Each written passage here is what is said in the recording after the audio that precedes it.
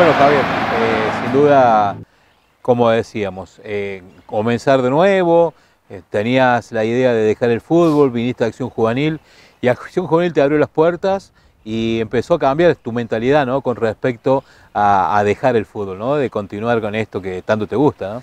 Sí, yo creo que es como que la vida me da una nueva oportunidad. sí, Acción Juvenil me abrió las puertas. Yo me acuerdo que cuando terminamos ese torneo en el año 95, eh, yo vine a préstamo de alumni. Eh, alumni después entra en el torneo del interior, ese viejo torneo regional que se le decía antes. Eh, hago la pretemporada, pero con, ya sabía que no iba a jugar. Yo sabía que no iba a jugar, pero como era jugador del club, por ahí en una de esas podía jugar. Y yo me acuerdo que en ese año 95 el, el ayudante de campo era el Rudy Ranco. Y, en el año siguiente, en el 96, él es el técnico de, la, acción juvenil, ¿no? Y bueno, me llama de nuevo y bueno, este, como había andado más o menos bien, eh, bueno, ahí vuelvo de nuevo préstamo a, juvenil, ¿no? En esos 7, 8 partidos que jugaste en el 94, ¿no? 95. 95. Eh, ¿Qué compañeros tenías en Acción Juvenil? Y bueno, estaba el Alberto Ceballos, eh, bueno, el Carlito Chavarría, eh, después bueno, el Ariel Mana, eh, Marcelo Bizarri, Claudio Bulgra, que venía conmigo de Villa María. había un delantero que, de apellido era Nim, me acuerdo, que era de San Antonio de Litín, me acuerdo. y había otro que era de, mm, de, como de Belville, pero no me acuerdo cómo, cómo se llamaba. Bueno, estaba el Cholo, Guiñazú, y son los que más me acuerdo, ¿no? Y, bueno, y Aníbal Sanotelli también. Eh, bueno, el Diaguito Cassini también ahí hacía sus primeras pasos por la reserva, ¿no? Entonces, esos jugadores me acuerdo como si fuera ayer, o sea, toda la vida. Y los otros también, lo que pasa es que no, no me acuerdo los, apellidos. claro, exactamente. Sí. Javi, y bueno, en el 96 terminan esos 7, 8 partidos, vuelves a Villa María. Sí. Y volvés a entrenar con alumni. Con alumni que entramos en el torneo del Inter. Nosotros empezamos, me acuerdo, a entrenar en enero, eh, pero Alumni entró para participar nomás porque no tenía aspiraciones de llegar más lejos. Jugamos todo ese verano del 96 y Rudy me llama para, para venir a jugar de nuevo. Eh, yo venía en competencia, venía en competencia y cuando me llama acá, este, a juvenil no había empezado todavía la pretemporada. Así que hay esa anécdota que tuve como más o menos como cuatro meses de pretemporada. Y claro, porque hiciste la primera en Alumni y después, en la este, aquí en, en General Deza. Y bueno, eh, pero lo importante es que siempre físicamente es muy importante estar para competir. Y ese 96 aparece Rimunda en Acción Juvenil, aparecen otros nombres, ¿no? Aparece Fabián, que venía de Buenos Aires con un excelente nivel. Eh, yo me di cuenta en la primera práctica nomás que nos puso Rudy juntos. Eh, yo me di cuenta que era el distinto. El distinto y bueno, como siempre se dice el dicho, ¿no? La pelota siempre al 10. Exactamente. Y, desde ahí, bueno, creo que con él, con Fabián, eh, hemos tenido una muy buena dupla ofensiva. hicimos un montón de goles, no solamente yo, sino todos mis compañeros también. Eh, pero desde, la, así literal, ¿no? Desde la primera práctica que tuvimos acá, me acuerdo que pateamos para aquel arco, eh, me dejó dos o tres veces mano a mano con el arquero y, yo dije, bueno, acá vamos a hacer cosas buenas. Claro. Después Gustavo Cavigliazo también, que jugaba por izquierda. Eh, habíamos armado un, Rudy había armado un muy lindo equipo eh, Chini, el Elvio González estaba, yo creo que también está en su mejor forma. El 9 de eh, área. El, famoso 9 de área, que también con el Chini me ha asistido mucho, bajando la pelota, no solamente para, mí, sino para Fabián también y bueno, para compañeros. Y yo creo que hicimos muy, muy buen equipo en ese. ¿Y ese 96 cómo salieron? ¿Salieron? Salimos campeón en la clausura. Y después jugamos la final con la Alianza y bueno, perdimos la final, ¿no? pero habíamos salido campeones. Eh, hacía creo que 16 años que Juvenil no, no, salía campeón. Claro, rompieron ese, ese maleficio que este, tenía Juvenil no salir campeón. Exactamente, y, y, bueno, pero Eh, Bueno, primero en principal pensé en mi viejo porque él es el que me ayuda en todo esto. Y, y bueno, yo creo que la alegría es para él. Eh, eh, contale a la gente del festejo ese, la, la vuelta. Ah, ese es un rondo flip flap, sí, eso lo hacía, lo empecé a usar este año porque el año pasado no me animaba a hacerlo porque no me sale muy bien. Ahora no me sale muy bien que digamos, pero Pero vale la pena los goles. eh, sí, la valen los goles y aparte no me importa si hoy no convertí. Me importa que hayas convertido vos, el Chini y el campeonato es nuestro. Fue Rudy armó un equipo muy sólido, eh, muy respetuoso eh, en tema de los entrenamientos, de los horarios, que eso también es fundamental para un equipo, ¿no? Eh, armar el grupo, armar el equipo, ¿no? Y armar el grupo humano, digamos, ¿no? Porque eso te ayuda, te anima a que se logren los resultados. Claro. Javi, eh, bueno, en esa, en esa época, como decís, ¿no? Salieron campeones, eh, viajabas todos los días a Villa María o ya te viniste a vivir a General de No, no, no. Yo viajaba, viaje 95, 96, 97, Ujú. viajaba todos los días. O sea, muchas veces los horarios eh, no me daban, y, pero nunca falté un entrenamiento, eh, nunca lo hice y bueno, entonces me tuve que decidir. Entonces decidí venirme para acá.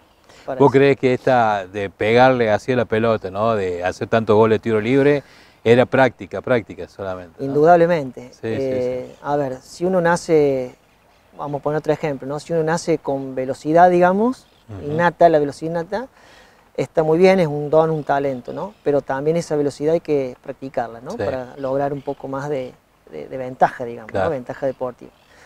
Y yo creo que un delantero, como cualquier otro jugador, volante o defensor, tiene que practicar lo que hace dentro de la posición de la cancha. Porque dentro de la cancha tenés más recursos para Claro. definir una situación. Eh, yo me acuerdo que venía siempre, eh, pero de chiquito, ¿eh? desde el Babi, desde las inferiores, eh, cuando llegué a reserva, primera también, siempre agarraba una pelota y me iba a patear el arco. Ujú. A ver, Fabián, las canchas que había antes no son como las que hay ahora. Claro. Luego fíjate el piso que hay ahora, nada que ver. Eran canchas donde la pelota picaba muy mal, prácticamente la pelota siempre estaba picando, entonces vos tenías que tener como delantero, como recurso, ¿no? Tener, o sea, tener ese recurso para poder dar un pase de primera, para habilitar a un compañero y también para definir, porque Claro. el delantero eh, depende mucho también de- del gol y aparte ve el sacrificio que hacen los compañeros para llegar a tener una situación de gol. Entonces eso hay que aprovecharlo al máximo y eso yo siempre lo entrenaba, siempre. Claro. Yo venía, pateaba el arco, de tiro libre, de derecha, eh, a veces la, la tiraba a la, a la ca- a las canchas de tenis, Tenis. No solamente en los entrenamientos, sino para- por ahí en los partidos también, pero era la gran ventaja de en el partido tener el recurso necesario para poder definir una jugada. Javi, eh, ¿cuántos goles hiciste en acción juvenil? Mira, si, sacando bien la cuenta son 266, una locura. Yo cada Ah, vez que lo, lo- lo pienso y digo, no puede ser.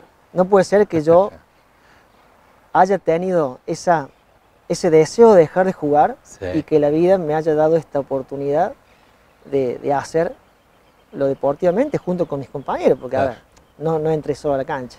Mis compañeros siempre estuvieron ahí, más allá que a veces teníamos alegrías y derrotas, pero siempre estábamos ahí. Eh, y yo creo que, que todo eso se lo debo también a mis compañeros. Claro. ¿no? Eh, yo creo que ellos han sido los, los que han sido gestor de la jugada. ¿no? Y uno por ahí a veces se lleva, o, o- o el periodismo, ¿no? Te- bueno, Carazay goleador de acá, Carazay Claro. de allá y todo lo demás, pero yo creo que yo creo que el gol es la síntesis de toda una jugada. Y puedo estar yo, puedo estar cualquiera. Claro. Lo que sí yo trabajaba para estar en ese momento justo de- del partido para poder definir. Pues era el que terminaba las jugadas. Claro, y a veces, eh, bueno, eh, a veces me salía bien, otras veces no. He hecho tres goles por partido, cuatro, dos, uno. He estado mucho tiempo sin hacer goles. Yo me Claro. acuerdo, en el año 96, eh, tuve nueve fechas sin hacer goles. Claro. Y- Casi medio campeonato. Claro, y bueno, Rudy eh, me daba siempre la confianza y yo Claro. seguía, venía a entrenar, venía, Sí, sí, venía a seguir siempre en los entrenamientos antes, no había forma. y me acuerdo un día contra Lugardis, en, en el arco de aquel lado, me dice Rudy, Javier, cuando tenga una, pegar el largo y clavar el ángulo, me dice, así, textual. Entrenamos acá atrás, la entrada en calor, y me acuerdo, ese, yo lo tengo filmado, ese, ese, ese gol. Hay un saque lateral, eh, eh, Mana me la da de cabeza y yo de acá, tres cuartos de cancha. Estaba de espalda del arco, me pica la pelota y saco un surazo sin mirar el arco. Le pega. Y pegó y se clavó allá en el segundo palo, un golazo fue, me acuerdo. Este, bueno, y ahí comencé de nuevo la confianza Claro. con el arco, ¿no? Había errado goles pasando el arquero, Sí, también sí, sí. atajó penal en ese, o sea. Pero bueno, a veces eh, un Ese es el momento pasa duro, ese ¿no? Que, momento. claro. Y ahí es donde uno tiene que eh, trabajar un poquito más, porque muchos dejan. Claro, claro. Y, y eso la perseverancia, ¿no? Y la confianza, ¿no? En uno y la confianza que te el técnico. Por eso recién decía, es muy importante que un jugador tenga la confianza del técnico, Claro. ¿no? Javier, eh, ¿qué técnico, después se fue de Rudy, qué técnico vino a Acción Juvenil? Y Miguel Díaz, Miguel tuvo Díaz. Miguel Díaz. Ahí salió un campeón también. eh, en el- claro, en el, el 98, el 99, salimos campeón del año 99. Entramos después en el Interliga 99, que perdimos la, perdim- ese campeonato fue increíble porque perdimos un solo partido y salimos segundo. Sí. O sea, por eso a veces... Perdieron la final. La final, la primer final, ahí en, en- En Río en Segundo. Río Segundo. Y, y bueno, perdimos 2 a 1. Sí. Después eh, de ese torneo, ¿volviste a, con Miguel Díaz o ya había dejado la, la- o sea, había dejado de ser técnico? Miguel Sí? Miguel Díaz después en el año 2000 estuvo, este, no me voy a acordar acá de Perdices, empezó. Después bueno, volvió el Rudy en el Ujú. 2001. Eh, yo creo que en el 2001, en lo personal, eh, en la liga fue mi mejor año. Tu mejor. Eh, en lo individual, ¿no? Sí, sí, sí, Porque en lo colectivo lo habíamos tenido en 96, 97, Claro. 98, 99 y todo lo demás. Y ese año tuvimos un gran torneo, 2001, que llegamos a la final con Moldes, con Toro de Moldes, que fuimos a tres, o sea, al final jugamos eh, tres partidos, definimos la cancha de Atenas, perdimos 1 a 0 en la tercera final. Pero ese año yo hago 29 goles en 30 fechas. Claro. Es una, O sea eh, que es una locura, una- ¿no? Una, realmente una locura eh, de la cantidad de goles no puede haber salido campeón ese año. Claro. Eh, eso fue lo que eh, a mí es como que no podía creer, no lo sí, sí, sí, o sea, pero ese año también hicimos un gran, un gran equipo, eh, llegamos Mm. eh, y bueno, después eh, nos quedamos en el segundo lugar, ¿no? Claro, En claro. el segundo lugar.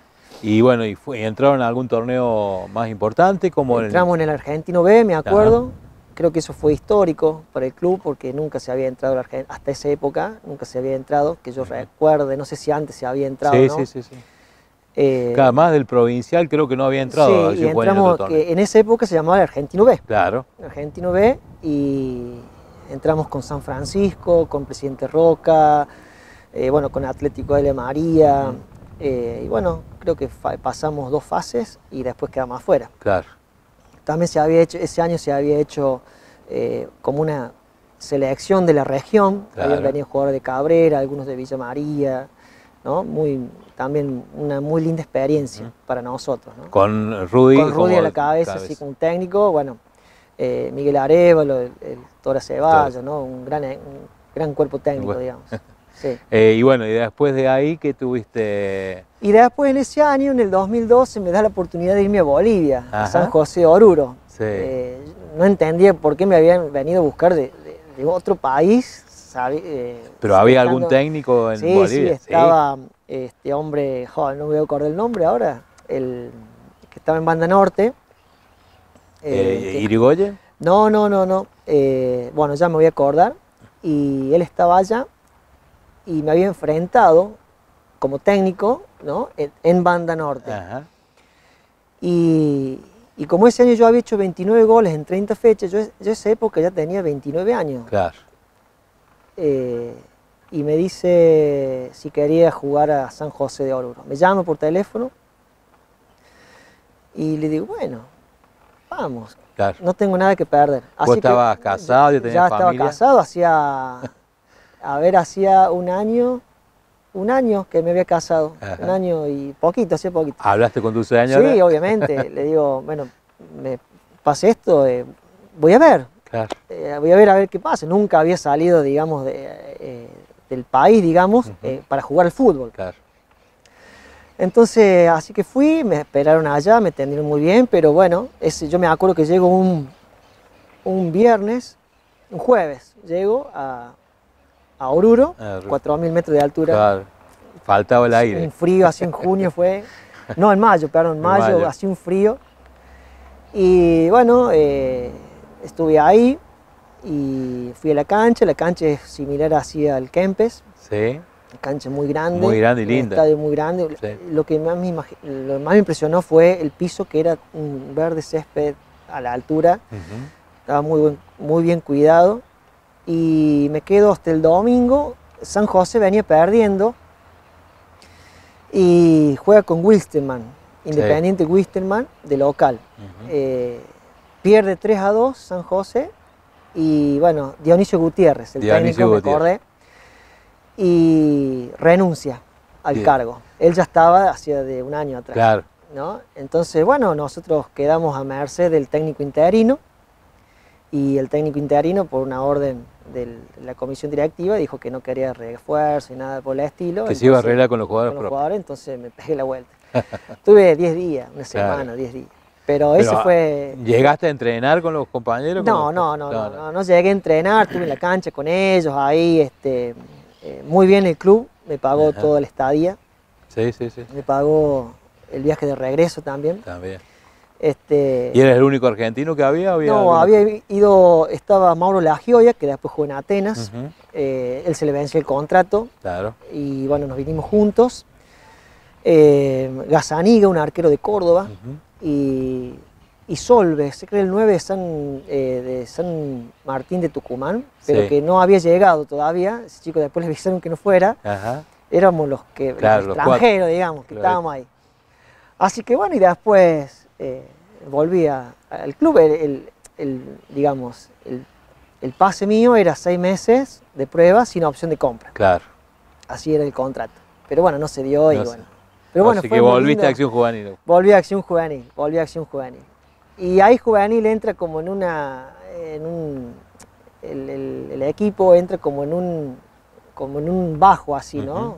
No me sale otra palabra, pero eh, entramos para participar, ¿no? O sea, no, no, no sabíamos, no, no, no, no estábamos en los primeros lugares, llegábamos ahí tercer, cuarto puesto. eh, era como que descansó un poco el club Claro. En esas... O sea, no se traía tampoco tantos refuerzos. No, no se traía tanto había tanta refuerzo. erogación económica. Exactamente, exactamente. Este, bueno, eh, ahí, eh, bueno, había que estar eh, adentro de la cancha en esa época, Claro. pero bueno, estábamos, ¿no? Eh, y después volvimos a jugar el provincial en el 2005 y volvemos a salir segundo, perdimos con Alén de Villa María Sí. la final. Y bueno, ya después de ahí eh, ya buscaba mi, digamos, mi retiro, digamos, Claro. para retirarme. El- ¿Ya tenías cuántos años ahí? Y yo tenía 33, 34. 34. Eh, y cuando ya quería retirarme, me vine a buscar a Atenas para jugar. ¿no? Eh, Magallanes me llama, Sí, si sí, quería sí. participar de, de- del, del plantel, sí, le digo. O sea, ¿Para jugar la liga local o no, algún no, el torneo? torneo, Ah, el torneo argentino, el torneo argentino B. argentino. Eh, fuimos y bueno, estuvimos ahí. No, no nos fue bien, pero mantuvo, mantuvo la categoría Atenas. Y bueno, después volví al club y en el 2007 eh, voy a Estudiantes de Río Cuarto. Mira, Río Cuarto. Sí, ahí eh, Matea hizo una selección, digamos, de la liga como para mantener la categoría. Claro. Y bueno, fui. En, en todos los lugares estuve muy bien atendido. Bien. Eh, siempre eh, hubo ese respeto, ¿no? Eh, siempre me sentí muy bien, incluso he hecho muchas amistades Claro. eh, en el fútbol. eh, y bueno, de ahí ya después dije, bueno, eh, me retiro, ¿no? Porque ya empezaba, digamos, a descubrir la otra vocación. Que había Estaba- tenido a los 18 A los años. 18 años había dicho no, ¿no? Y bueno, ahora era como que ya, eh, aparte ya había entrado en el periodo de discernimiento vocacional y demás. Y bueno, en el 2009 eh, me retiro, tomo la decisión de retirarme. Eh, más allá de, de- retirarme como jugador, porque tenía una fascitis plantal. ¿no? en el pie izquierdo, que no, no podía entrenar, o sea, me costaba mucho entrar en calor y demás. Y los domingos se te complicaba para jugar. Sí, sí, los Sí, domingos sí, sí, sí, lo sufría. Es Claro. más, me levantaba y caminaba así con, Con los sí, con los pies así doblados hasta que calentara, ¿no? Eh, y bueno, después, eh, en ese 2009, me, me retiro y empiezo, digamos, mi, eh, mi vida vocacional, digamos, ¿no? Como diácono empiezo eh, a ir al colegio y demás, a Río Cuarto y viajar. Pero es, ahí como que no terminó la cosa deportiva. Claro, ¿no? Este, yo me acuerdo que en el 2010 eh, acá hubo ese partido a beneficio del hogar de, del hogar de abuelos, de adultos mayores ahí en el polideportivo, eh, junto ahí con el Cholito Guiñazo y demás, y me invitan a jugar. claro. Y bueno, jugaba, jugué ese, ese día, el segundo tiempo, jugué acá en, en la zona de volante, había vuelto a la, la vieja posición, ¿no? Claro, a la que Y arranca. el que nos dirigía a nosotros era Luis Chavarría, el que estaba en San Lorenzo, acá de, de Las Perdices. Y bueno, cuando terminó el partido, bueno, fuimos a la cena y, y me dice, ¿te gustaría jugar en San Lorenzo? Estoy yo. Le digo, mirá, le digo, yo ya estoy en otra. Le digo, este, yo hace un año y medio que no entreno. Bueno, no te hagas ningún problema, eso lo vemos. Y quedó ahí la conversación. Claro. Fue en la cena de después que, del partido. Sí, sí, el partido. Bueno, vinieron las vacaciones, todo lo demás, y en enero me llama, que ya había hablado con los dirigentes, que, pero para, le digo, si yo no, no sé si, si salgo de aquí me desgarro. le digo. claro. Bueno, así que fui y tuve una semana y bueno, después volver a entrenar, no, no, no quería saber nada. No. No, quería saber nada, eh, yo venía muy dolorido, eh, o sea, se me complicaba Claro. para estudiar y demás, y le digo, no, Yo siempre recuerdo una frase Sí, tuya de sí. que vos decís, el día que deje de gustarme entrenar, ahí me voy a retirar. Sí, sí, yo, yo lo siempre decía, dije. ¿no? Y, pero más allá del dolor físico, es como que tenías ese gusto por entrenar. Y yo me acordaba de un técnico, esto eh, me lo dijo eh, Mario Requena, siempre lo decía. El jugador cuando llegue a su límite, siempre tiene un restito más para Sí, dar, sí. ¿no? Y, y me acordaba de esa frase, ¿no? Esto, esto me lo había enseñado en las inferiores. Y yo digo, bueno, yo llegué a mi límite, voy a ver hasta dónde llego. Claro. Entonces, con esa idea, con ese pensamiento, esa voluntad, ¿no? empecé a hacerlo. Y me dice Luis Chavarría, me dice, bueno, aguanta hasta el primer amistoso que hagamos, a ver cómo te sentís. Yo había perdido las distancias ya de, Claro. de cancha grande. Y bueno, fuimos a jugar eh, a Hernando, estudiantes, estudiantes de Hernando, me parece. Ganamos 1 a 0 ahí, hace un gol un compañero mío y después nos devuelven la visita. Claro. Espera estos dos partidos ver qué pasa. Pero yo con 15 días de entrenamiento ya estaba un poco más, si bien me dolía todo, pero estaba un poco más Claro. ágil, digamos. Y bueno, y acá vinimos a jugar, ganamos 5 a 3, meto 3 goles. Y ahí dije, bueno, hago hasta donde pueda. Claro. Y bueno, y quedé, llegamos a la final, a la semifinal, me acuerdo ese año, metí 21 goles Ujú. ese año en San Lorenzo. Ese año en el- fue en el 2011, ¿no? Y Juvenil desciende en el 2011. Yo en el 2012 vuelvo a arreglar de nuevo con San Lorenzo para jugar, pero no para jugar, sino, a ver, para dejar de jugar al fútbol. Me quería sacar ese jugador de Sí, fútbol sí. que tenía, de, o por lo menos jugar Mentalizarte. oficialmente. Claro. Y, y me llaman de nuevo para venir a jugar acá a Juvenil. Yo ya me había retirado, o sea, era Claro. toda una cosa media, eh, media contraria, ¿no? Todo lo que había hecho. Te habían hecho el partido de despedida. No, aparte No. de despedida no tuve. No, No me entregaron el último día que jugué aquí, en el 2009, una plaqueta con la camiseta firmada, que esa la tengo todavía. Creo que lo único que tengo de juvenil es esa camiseta Esa firmada, porque lo demás lo regalé a todo. Y, y bueno, ese año eh, viene Morcino, eh, Morcino me pide a mí para jugar, eh, llega un arreglo con los dirigentes, pero yo ya tenía 39 años, Claro. o sea, ya era grande, Sí, estaba sí. más para irme a comer una pizza con una cerveza que para venir a entrenar.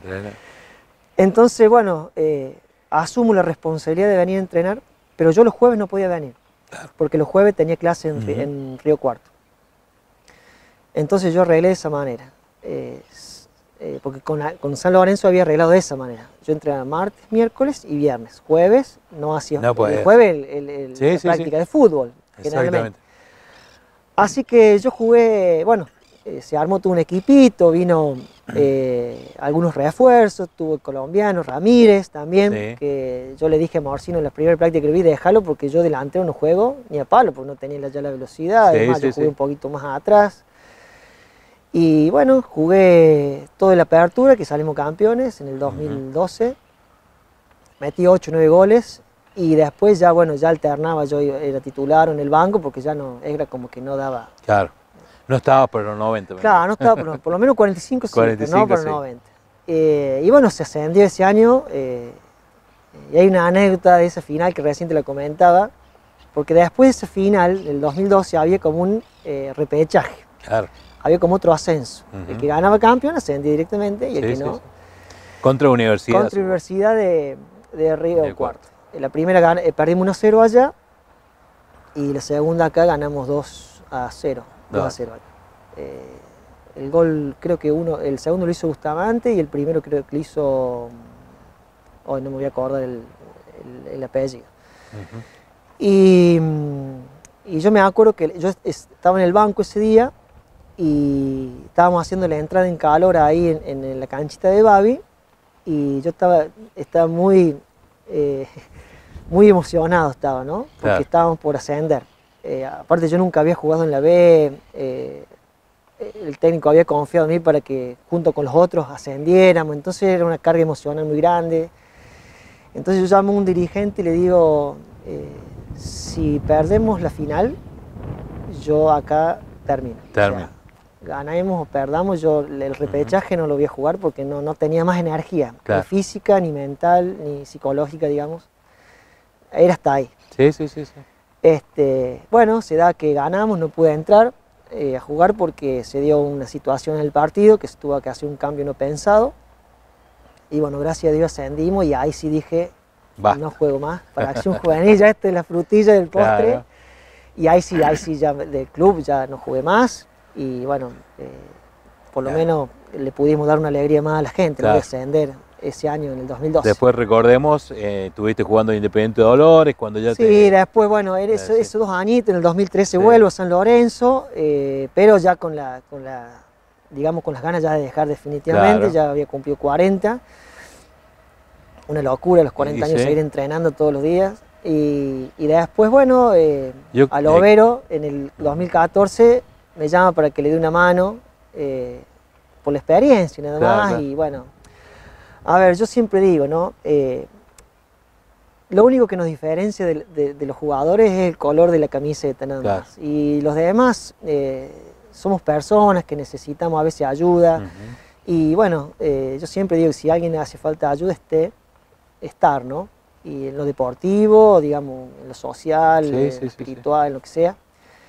Y bueno, por ahí algunos me, me- me dicen de eso, que me fui a dolor y demás, ¿no? Bueno, yo lo tomo como, Claro. como una, como una anécdota nada más, ¿no? Pero para mí ir a ayudarle a alguien es, es- es- pasa por sobre, por sobre encima de todo el color de camiseta o, o Sí, de sí, cualquier sí. otra cosa, ¿no?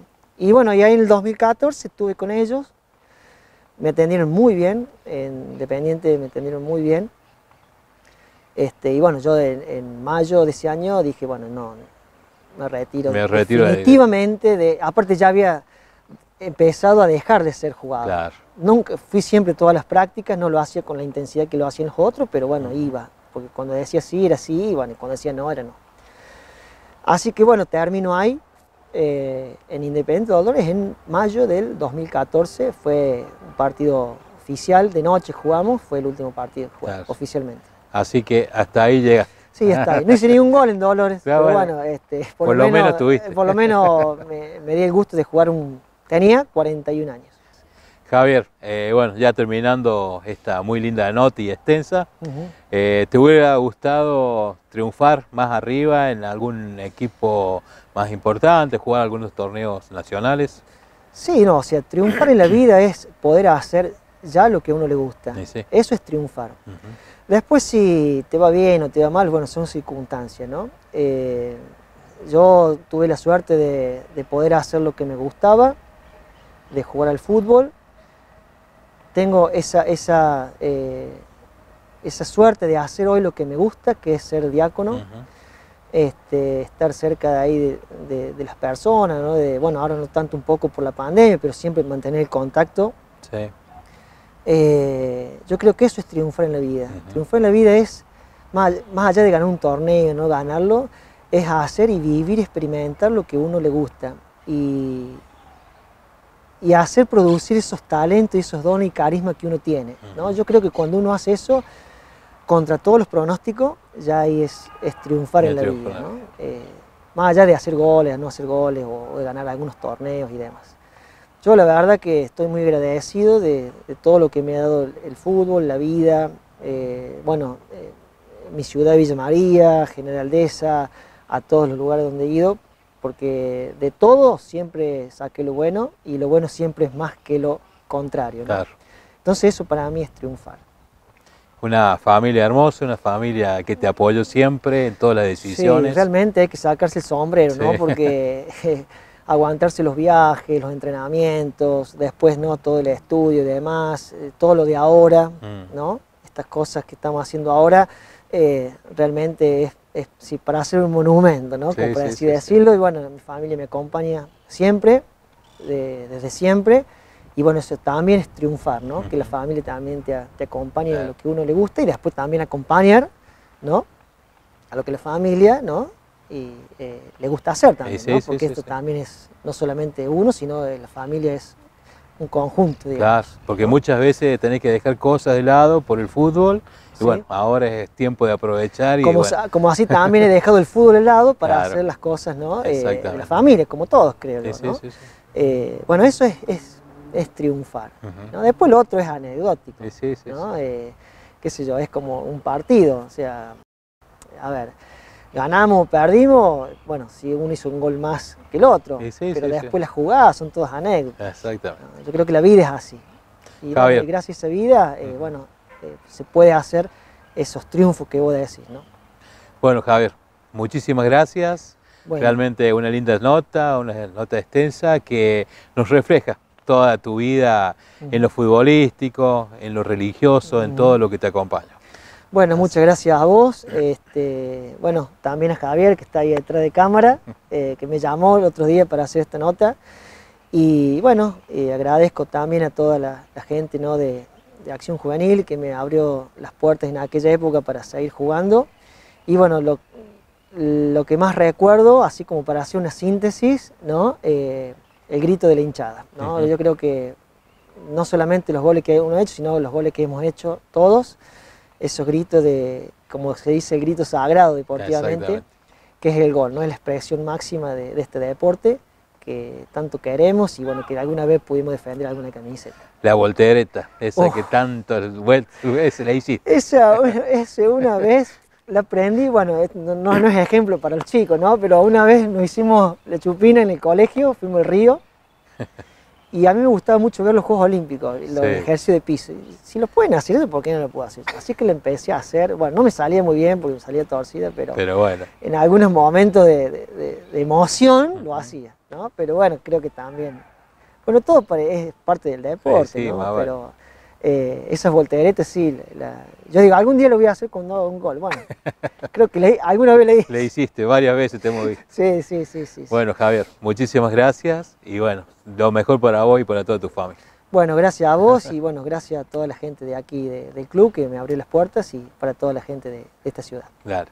Gracias. Así vamos finalizando esta hermosa nota con Javier Calazay, reflejando su historia, su vida, lo que dejó y lo que tuvo que trabajar para hacer lo que es y, y los goles que hizo en Acción Juvenil y en toda la región. Así que vamos terminando este programa, como siempre, en el Podio Edición Fútbol, los días martes a la hora 21, la reiteración los miércoles a la hora 14 siempre con Activa Contenidos como producción general. Muchas gracias y muy buena noche para todos.